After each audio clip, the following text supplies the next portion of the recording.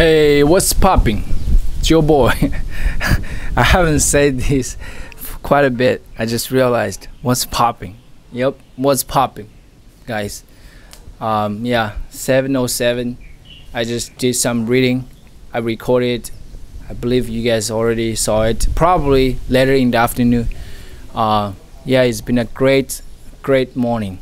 I just felt very blessed and happy and content and satisfied and just grateful, man. I love it. And uh, I was gonna go have breakfast, but uh, I only recorded like just one video for this morning. I mean, like just talking video. I only recorded one, so and another reading video. So I want to do another video because why not? Why not put into more practice? Why not uh, do more? Because I I'm really not satisfied with my speaking skills at this point. I want to get better. I want to get rid of all these hiccups. I want to speak fluently. I want to be able to tell good stories. And yeah, so yesterday I stayed at home. I worked on a few videos. I got them done. When I was working on them, I just feel like, man, I'm definitely doing the right thing because I'm just really proud of what I said in the video.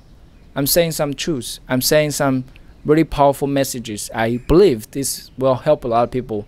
If people really pay attention and listen to what I said, and yeah, besides that, I just did some stretching. I watched a few videos. Um, one video was um, let me just try to rethink what I watched. I watched a video from about red pill content. Honestly, I don't really still understand what is a red pill video or content or whatever.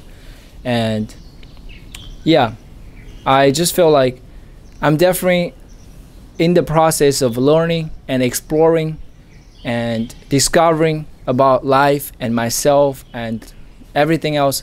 So I'm definitely gonna change my mind, but not in a big. I mean, I do not want to set a limit to myself, but I'm just saying like we are all really in the process of learning. As a matter of fact, no matter how old you are, as long as you are open-minded enough and you accept new things and new knowledge and new information, we're gonna change our mind because everything is changing. All right. So my grandma is kind of urging me to go to have breakfast because she already cooked it for a while. yeah. So whatever um, I whatever I did, I I don't I don't know, man. So I'm gonna end here, and all right, I'm gonna have breakfast. Thank you for watching this. Have a great day. Have a productive day. All right. Peace.